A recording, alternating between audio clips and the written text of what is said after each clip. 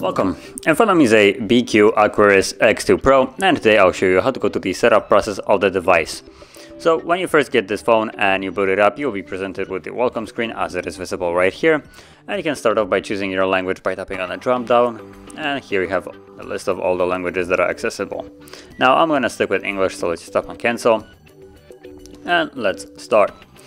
Then the uh, second thing you'll see is the insert SIM card. Now this is fully optional, you can skip this. It, the only thing it will allow you to do uh, is well, connect your SIM card and you won't have to connect to Wi-Fi or well you don't even need to connect to Wi-Fi but um, this can be done at any time uh, throughout the setup, after setup, it doesn't actually matter at all.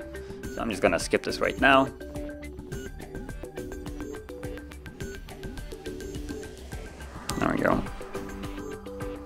That's weird. Okay, there we go.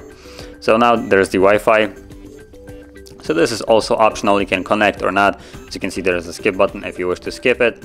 Um, this will allow you to connect to a Google account later on uh, throughout the setup. Uh, without actually logging in, you won't be able to. So it's all really a personal preference. I'm gonna skip this just to save on time, because if I would connect it, also starts looking for update. Uh, and this will take a little bit long. So then you have date and time, and now it's set to usually detect it automatically, although not in this case. So it would detect it actually when you would connect to Wi-Fi or put in a SIM card. So here you can choose your time. For instance, right now for me it's 11.30, so let's just boom, 11.30, there we go. And uh,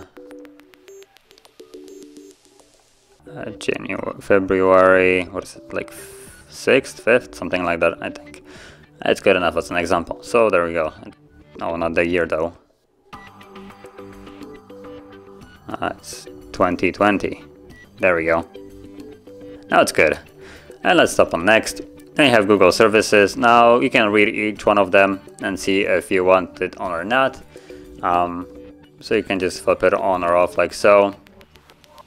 And then you can tap on allow or accept and then next thing you will see is the fingerprint setup. Now, right here it asks you to set up a fingerprint, but by choosing this you also have to set up any uh, kind of other way of unlocking the device. You will have a choice between uh, PIN, pattern or password before you can actually put in a fingerprint. I'm just gonna set it up as an example. So there it is, uh, fingerprint plus pattern, PIN or password. So choose whichever one you want. I'm gonna go with pattern. Sure and then draw the pattern that you wish to use, tap on next and redraw the same pattern once more. And then we get to scan our finger on the sensor which is located on the back, just so you know, as this gigantic circle right here.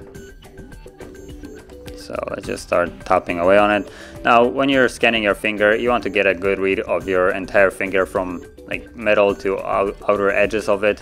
I'm just doing it quickly, so I'm scanning only the middle of it just to pass it really quick and there we go. So now if I were to lock the device also, it will have a pattern to unlock or a fingerprint. There we go. And that is how you would set up your device. So if you found this video helpful, don't forget to hit like, subscribe, and thanks for watching.